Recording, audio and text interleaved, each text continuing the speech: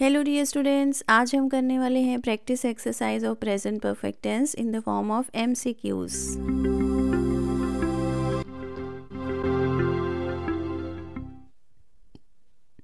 choose the correct sentence अभी आपके सामने तीन सेंटेंसेस आएँगे, जिनमें से कोई एक ही सेंटेंस करेक्ट होगा। तो अभी आपने देखना है कि कौन सा सेंटेंस करेक्ट है। देखिए, आपके सामने तीन ऑप्शंस हैं। Shreya has scored good marks in English B है, Shreya have scored good marks in English और सी है, Shreya has scored good marks in English तो इन तीनों सेंटेंसेस में से कोई एक सेंटेंस है जिसमें कि हेल्पिंग वर्ब और मेन वर्ब दोनों ही करेक्टली यूज़ हुई हैं ओके दोनों को आपने ध्यान से देखना है, ठीक है? बाकी तो सेम है, सिर्फ़ हेल्पिंग वर्ब और मेन वर्ब का डिफरेंस है। अगर आप ध्यान से देखोगे तो आपको पता चलेगा कि सी ऑप्शन जो है वो करेक्ट ऑप्शन है, क्योंकि यहाँ पर हैज़ लगना था श्रेया के साथ ओके बी ऑप्शन में हैव लिखा हुआ है, इसलिए वो रॉन्ग हो गया है। और ए ऑप्शन इसलिए रॉन्ग है क्योंकि वहाँ पर स्कोर्ड के स्पेलिंग रॉन्ग है। वहाँ पर डबल आर ई डी लिखा हुआ है, लेकिन इसकी करेक्ट स्पेलिंग है S C O R E D single R okay तो अब हम देखते हैं नेक्स्ट सेट ऑफ़ सेंटेंसेस इसमें देखिए क्या लिखा हुआ है? A he has paint the wall B he has painted the wall C he have painted the wall तो सोचिए इन तीनों सेंटेंसेस में से कौन सा सेंटेंस आपको करेक्ट लग रहा है?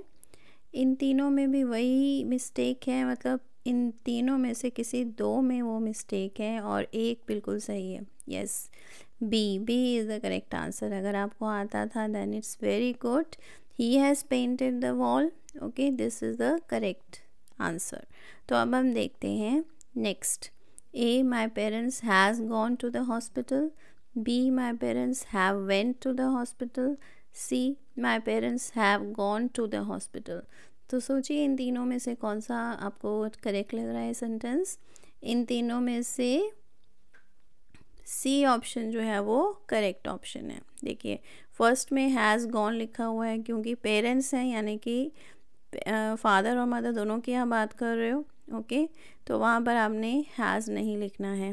और सेकेंड ऑप्शन में मेन वर्ब जो है वो वेंट लिखी हुई है, वो रॉन्ग है क्योंकि थर्ड फॉर्म गॉन होती है ओके इसीलिए हमने सी ऑप्शन को चूज़ करना है क्योंकि वहाँ पर हेल्पिंग वर्ब और मेन वर्ब दोनों ही करेक्ट लिखी हुई हैं। तो अब हम देखते हैं next A has Priya solve the sum B has Priya solve the sum C has Priya solve the sum देखिए, अगर आप ध्यान से देखोगे तो इसमें एक पंक्चुएशन की एरर भी है। पंक्चुएशन यानी कि वहाँ पर क्वेश्चन मार्क नहीं लगा हुआ है, क्योंकि ये एक क्वेश्चन है तो लास्ट में क्वेश्चन मार्क तो होना ही चाहिए।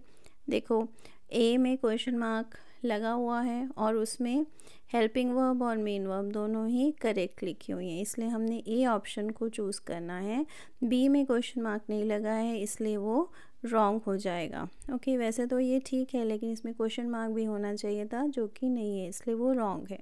तो अब हम देखेंगे next A a thief has snatch her purse B a thief has snatched her purse C a thief have snatched her purse तो सोचिए यहाँ पर क्या आएगा कौन सी ऑप्शन आपने चूज़ करनी है?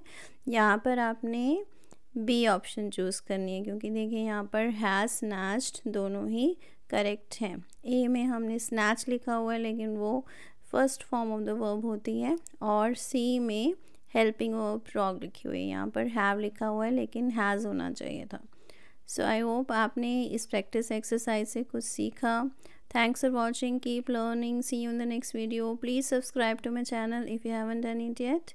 Thank you.